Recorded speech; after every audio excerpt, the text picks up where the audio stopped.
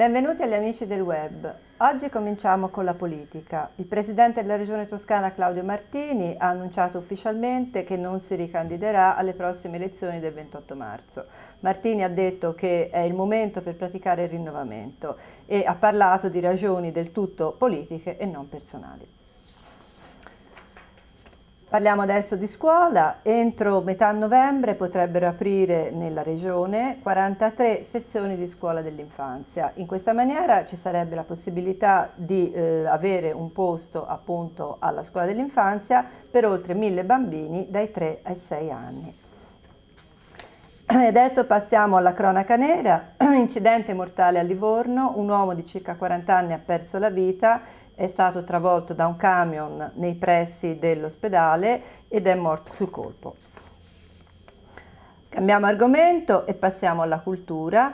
A Casa Buonarroti dal 28 ottobre al 16 novembre sarà esposta una replica in bronzo della Madonna di Bruges di Michelangelo. Alla fine di questa esposizione la scultura verrà trasferita da Firenze negli Stati Uniti, a Washington, e dove dal 7 dicembre verrà esposta al pubblico. E adesso invece mh, ritorniamo con uh, la memoria all'alluvione del 1966. È stato girato un video, un film documento da Erasmo D'Angelis. Vediamo tutto in questo servizio.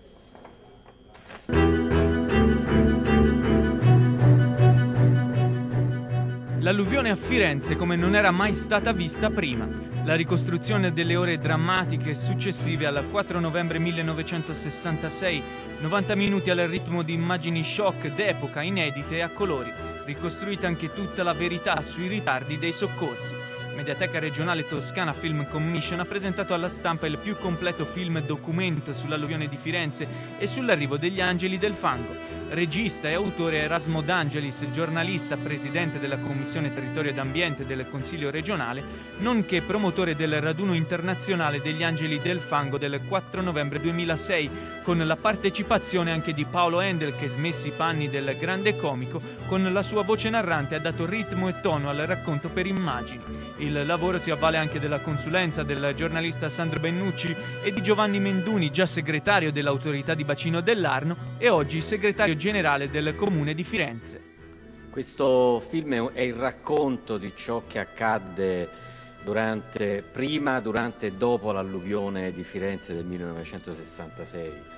Eh, dopo tre anni di ricerche, soprattutto di materiali e di, e di immagini che abbiamo recuperato degli archivi della RAI, dell'esercito, di, di tanti privati cittadini che ci hanno consegnato i loro filmati girati in Super 8, in bianco e nero, a colori.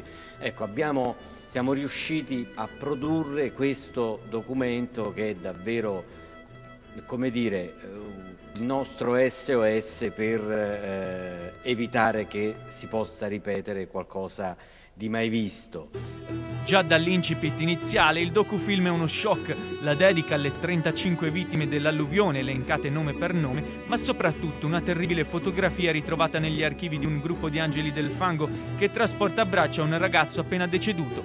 Facce stravolte e vestiti sporchi di fango lasciano un senso di vuoto e soprattutto il vuoto di un nome, di tanti nomi.